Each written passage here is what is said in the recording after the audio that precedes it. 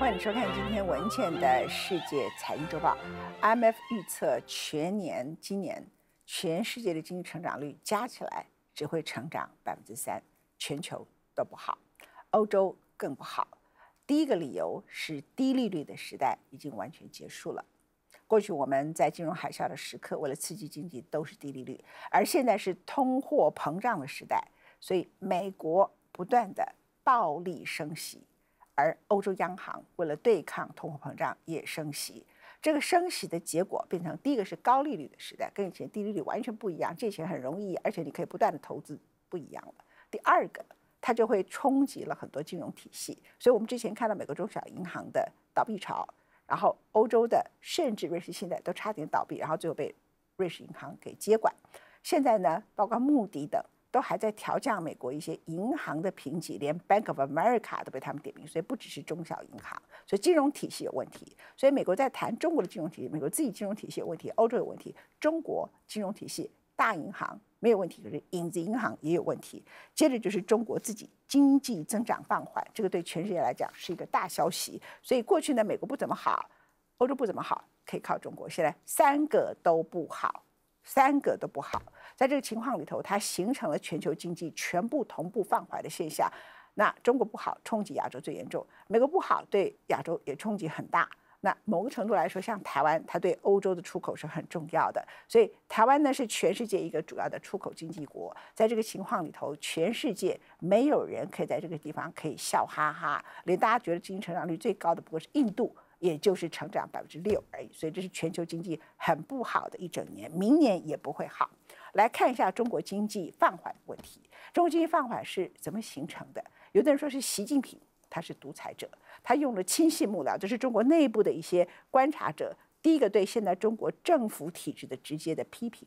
他认为习近平并没有用最能干的人。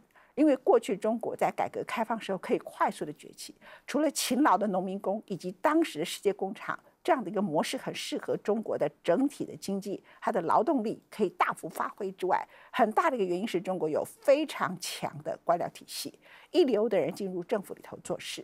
习近平上台之后，他的反贪腐打过头，导致很多官僚不敢做事，很多人也不愿意进政府部门做事。接着呢？他完全提拔了亲信幕僚，只是中国主要的领导班子里头并没有出色的，特别是在经济领域、在国际事业里头，可能外交非常好，可是在国际经济里头可能不够出色的人，没有能力帮助中国走出这一次全球经济在疫情之后同步放缓的状况，以及处理中国的房地产危机，这是中国内部的一些人的基本看法。在中国之外，西方当然有他的这个现代化的一些理论，他就认为习近平的独裁。本身跟造成了中国的封闭，而这个封闭就会使民间失去它的活力。这是现代化理论里头经常有的一个概念，就说，当你呢对一个体制过度封闭的时刻，民间的企业就不可能冲刺。而中国过去它的经济很大型的成长里头，民间的贡献是很高的，民间企业的贡献力量是很高的。现在民间的整个企业被压制下来。在前一阵被压制下，最近才开始放松，可是有一点来不及。大家对这个政府的信心是不足的，投资不足，你的政策的不稳定性太高了。哈，这个是西方基本上对习近平的看法。而著名的这个在玻利维亚倒塌之后曾经说历史的终结论的历史学家福山，他特别谈到了中国的债务。他说，他习近平。基本上，当时的所谓的中国梦是好大喜功的“一带一路”，会形成中国隐藏性的债务，所以也造成一个未爆弹。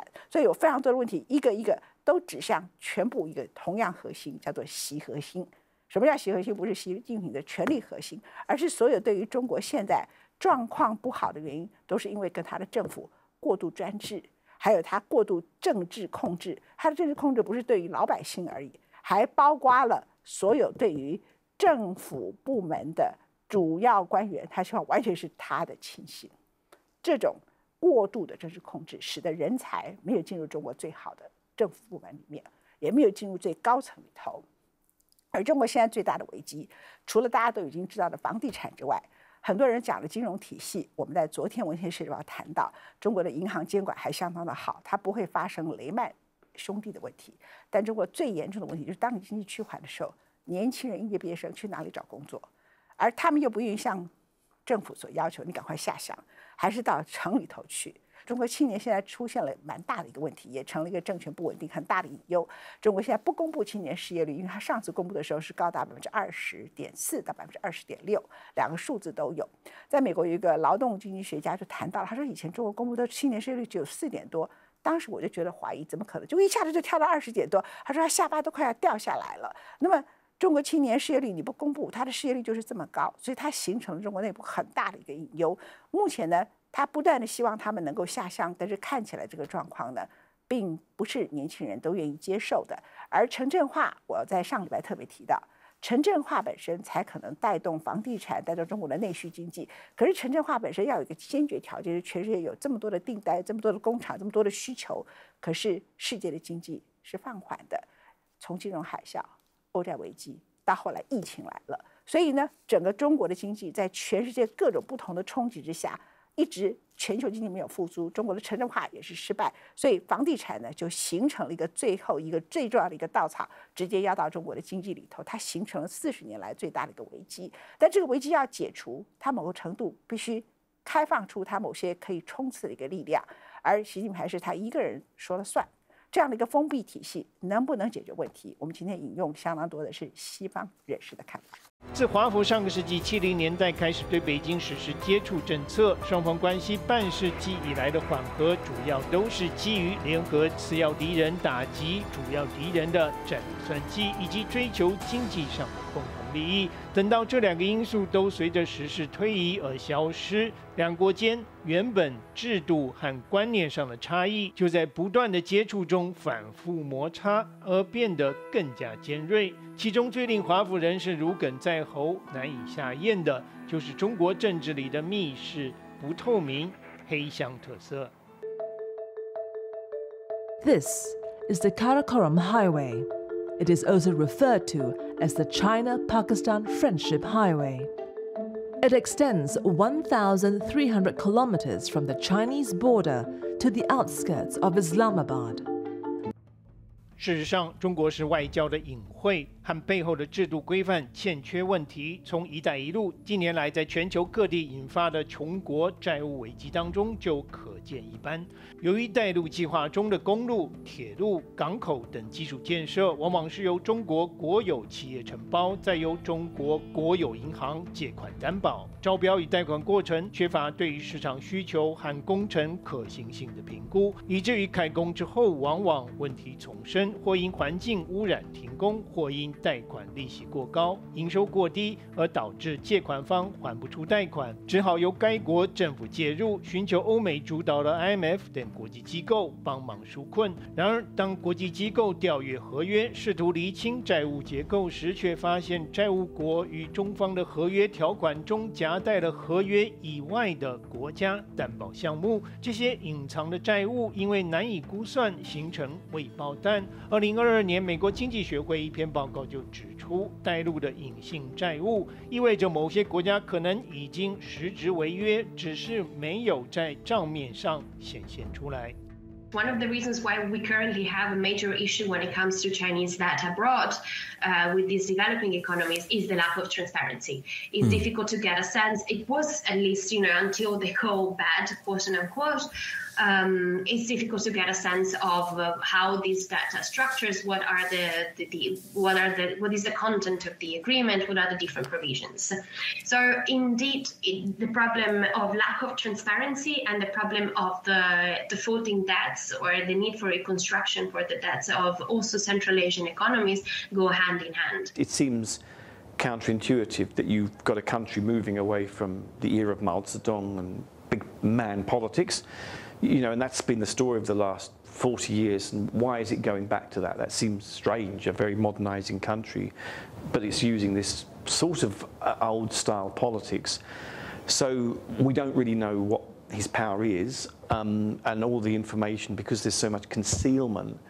You know, I think that's very deliberate. You know, this is this is a sort of country where the black box of politics is sort of you know deliberately, you know, kind of locked, because it's it's kind of that's powerful to know that information is powerful 最近，在外交政策期刊上，由知名中国问题作家张燕所撰写的一篇评论，以“停滞年代：习近平的封闭政策”为题，认为当前习政权下的中国政治经济所面临最大问题是当权者的统治手法和治理思维已经走回毛泽东时代的一人专制、封闭老路。而之所以会做出这个结论，是依据张燕本人在今年春天北京取消清零政策之后。亲自前往中国，与各地贩夫走卒、学者友人交谈之后所得到的第一手观察。张岩认为，如今在中国，不管是出入旅游还是日常采买，政府的监管控制，尤其针对境外人士，从 APP 到信用卡到各种申请表格都日趋严密。而在排斥外来思想入境的同时，北京当局对于内部过去享有一定自由度的中国学术圈和大学校园也同步缩紧管控力道，许多涉及宗教甚至稍微碰触历史敏感议题的学术期刊和专书都被挡下或禁止出版。相较之下，所谓“习思想”则是被极力鼓吹，无所不在。整个社会各个角落弥漫着一种封闭、内卷的停滞气氛。But I believe the economy represents Xi Jinping's Achilles heel. Um, and it's slowing for several sets of reasons. There's the, the overhang of demography. The country's getting older. Uh, the birth rate is now 1.16, the second lowest in Asia.